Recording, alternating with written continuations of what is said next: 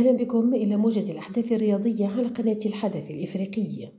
كشف مدرب ريال مدريد كارلو أنشيلوتي عن القائمة المستدعاة للسفر إلى الرباط من أجل المشاركة في كأس العالم للأندية المغرب 2022 وشهدت القائمة استبعاد حارس المرمى البلجيكي تيبو كورتوا والمهاجم الفرنسي كريم بنزيما بالإضافة إلى ثلاثي دفاع إيدير ميليتاو فيرلان ميندي ولوكاس فاسكيز.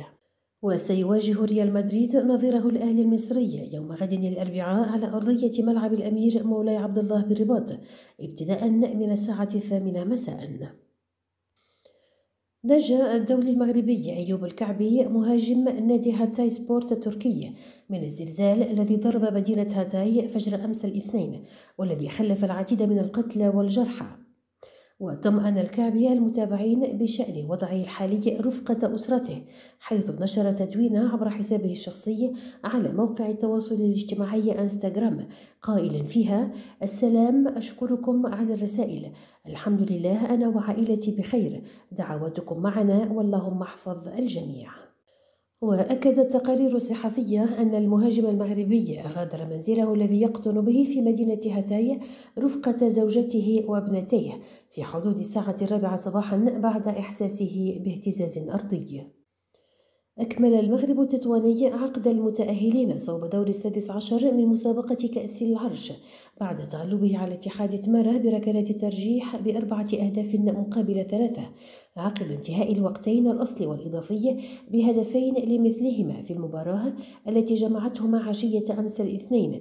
ويضرب المغرب التطواني بانتصاره هذا موعدا في دور السادس عشر مع الوداد الرياضي في مباراة ستجرى يوم الجمعة المقبل.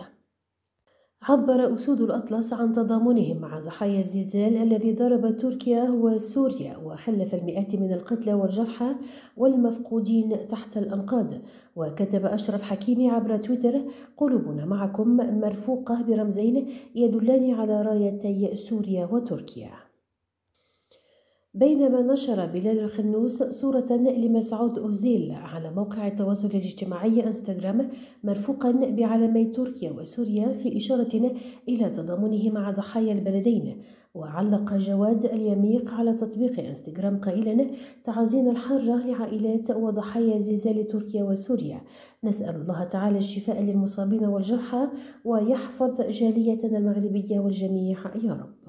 إلى هنا نأتي إلى نهاية موعدنا الرياضي لهذا اليوم. شكرا على المتابعة. إلى اللقاء.